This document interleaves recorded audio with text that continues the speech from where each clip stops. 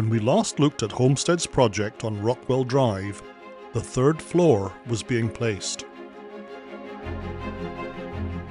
As you can see for yourself, on March 2nd, they're now installing the fifth floor. This means that this capable crew are installing a story about every 10 working days.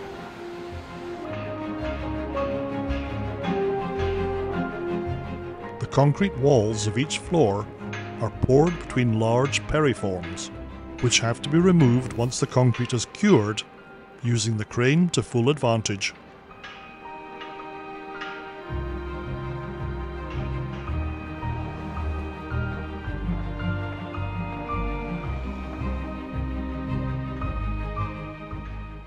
Removing the forms is a symphony of synchronized movement, and the person who never gets a break is the crane operator.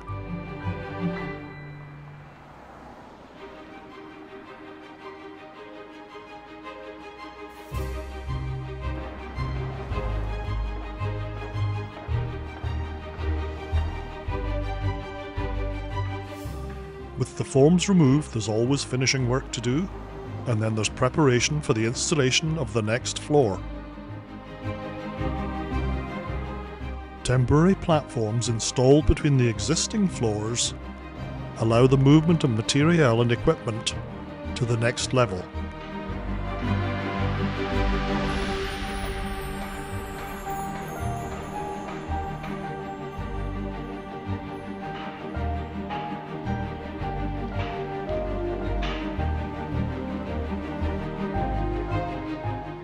Supporting pillars play an essential part in the whole process.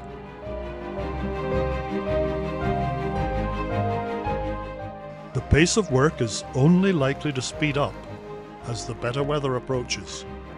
And if you want to keep up to date, please consider subscribing to the Aerosnapper channel.